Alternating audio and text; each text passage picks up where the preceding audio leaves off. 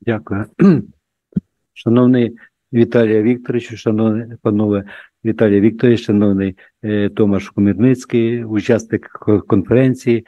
Е, я розпочну із слів Віталія Вікторовича, який він сьогодні сказав про те, що часи важкі, війна, але нам потрібно не тільки вистояти, але розвиватися, напрацювати нові зв'язки, і все буде так, як сказав Віталій Вікторович. що Ми всі цього хочемо і цього рухаємось. Так. So, dear colleagues, uh, I would like to present uh, the results of our joint uh, research and discussions. My co-authors are Leonid Rudenko,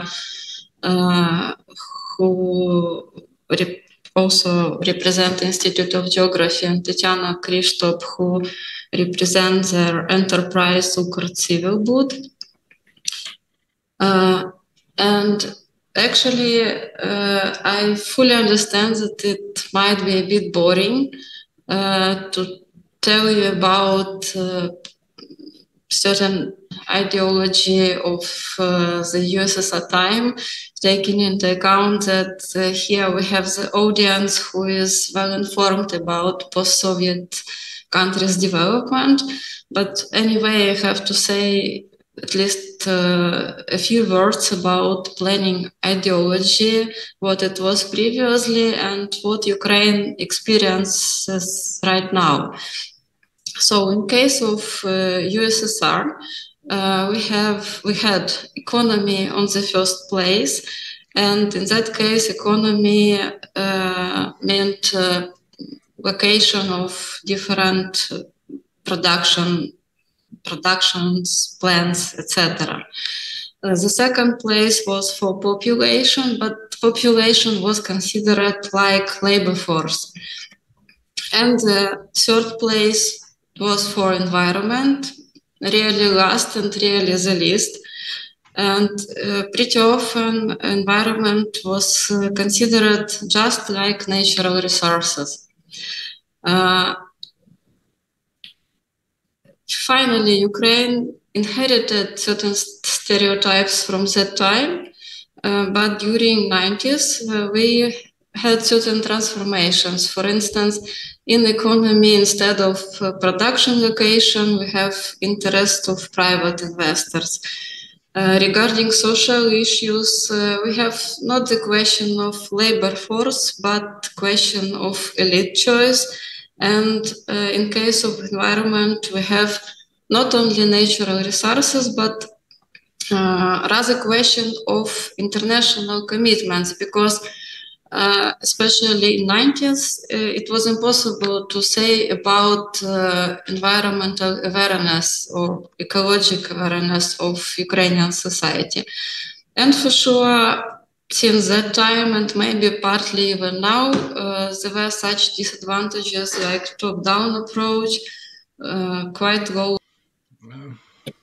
Дякую. Invitation members conference, invitation from GIS Association of Ukraine, from fin Ukraine, refugee in Finland, Ukrainians, uh, acknowledgement for uh, Poland for support Ukraine.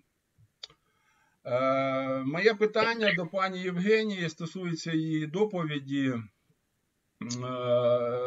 ну, Зараз існує думка, що е, питання децентралізації не на розі. Ну, Декількох джерел отримана ця інформація, але обмірковується. Ваша відповідь на це запитання. Ну і додатково, до речі, ми партнери з. Е, університетом Сковороди. Всі знають е, в Переяславі е, громадське об'єднання Старий Дніпро. Ну, Можна сказати, що ми спільно приймаємо участь. І якщо буде цікаво, нещодавно ми проводили захід, присвячений долі Каховського водосховища. От, Тому, якщо буде цікаво, ми надамо матеріали.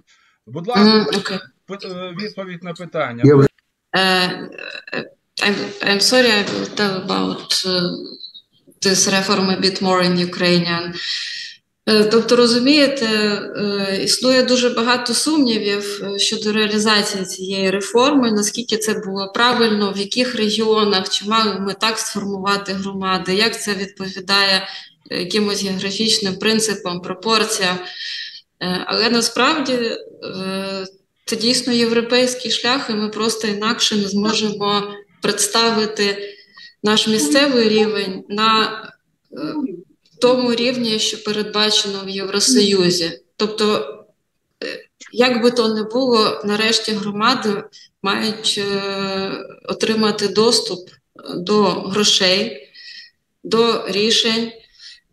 Вони можуть бути спочатку невірні, але люди, які живуть в певних громадах, вони раніше чи пізніше усвідомлять, що вони зацікавлені в чомусь. Якщо вони сьогодні дозволяють прийти якомусь підприємству або інвестору, яке шкодить середовищу, е, то вже через 10 років наступне покоління знатиме, що це не треба робити, що треба оцінити територію. Е, на жаль, буде навчання на помилках, але ну, така загальна в цілому моя думка така, що ця реформа була необхідна. Дякую за відповідь. Thank you. Так. Thank you. Uh,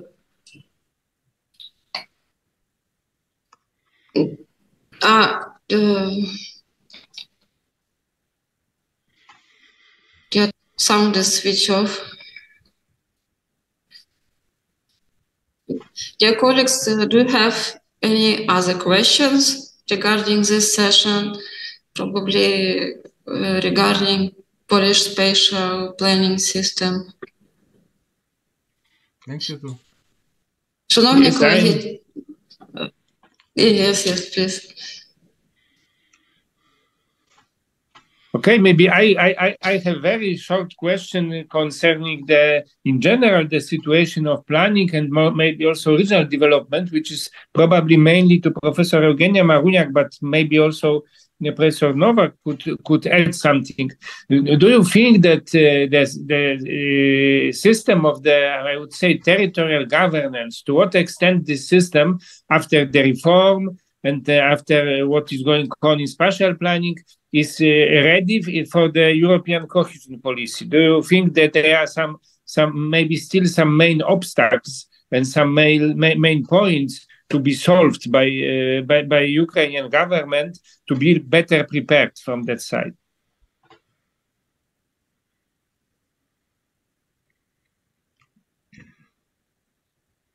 Eugenia, your microphone is off. Uh, I do not see Professor Novak, so maybe uh, I will start to answer this question. And uh, in case he, uh, now I see, uh, he will join. Generally, it's a very good question because uh, for sure there are still so many problems, so many gaps at local level. And sometimes uh, I strongly doubt uh, that uh, territorial communes are really ready for this uh, cohesion policy. Uh, on the other hand, uh, what I notice, for instance, on the case of Lviv agglomeration, uh, the main point is just to teach people and to raise awareness. It's a very standard answer, I understand it, but uh, it, it was really amazing because when we started this work with uh, Lviv territorial communes, uh, they were not active and pretty often they didn't recognize even uh, common issues, common problems. But later on, in process of communication, uh, they've got more experience. Uh, they also had certain trips to Poland, by the way, because this project was uh, supported also by Jerzy Regulski Foundation to support local development. And finally, finally, uh, we met absolutely different people. Maybe not absolutely, absolutely, um, but uh, this general level of awareness uh, changed significantly. Uh, so maybe the way the way is generally right. Uh, but uh, for sure, we still need uh, so many efforts uh, to, to go ahead. Okay, thank you. Uh, I don't know if uh, Professor Novak wants to add something, but this is Yes. maybe Maybe if I can, I will try. Maybe I could add that as a lawyer, of course, uh, the problem of uh, relationship between the law and spatial planning is universal. Barrier exists uh, everywhere and uh, cannot be completely eliminated. However, I think it is a worth undertaking organic work. This must be linked up to the evaluation of uh, individual solutions. Uh, it must take into account the context of expert analysis. And uh, from this point, I can add that in uh, Ukraine and Poland, the key problem is still that the role of regional authorities in spatial planning is not well defined. Both countries should uh, reflect, my, in my opinion, together on how to plan space from a regional perspective, from, uh, of course, uh, institutional law point of view. In my opinion, it is at the regional level that the uh, regulatory sphere should concern public purpose investments and climate.